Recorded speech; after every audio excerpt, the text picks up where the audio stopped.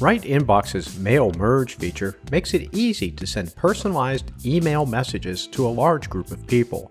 Here's how to do a mail merge in Gmail. Click the Mail Merge icon on the left of your window. Click Create Campaign.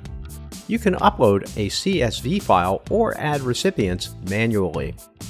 To add a CSV, you simply select the CSV to import from your computer, then you upload the CSV. There's also a sample CSV available for download to show you how the CSV should be formatted. If you want to add recipients manually and not with CSV, here's how. Add email addresses and names in the labeled boxes. Click Create Sequence. Add a subject line, then add the message you want to send. You can also choose from preloaded email sequences you've used in the past with a drop-down menu. You can also send one or more follow-up messages and choose when the messages will be sent. Click Confirm and Launch. Here, you'll set the dates and times, enable tracking, and set your send rate. Click Start Mail Merge, and you're all set.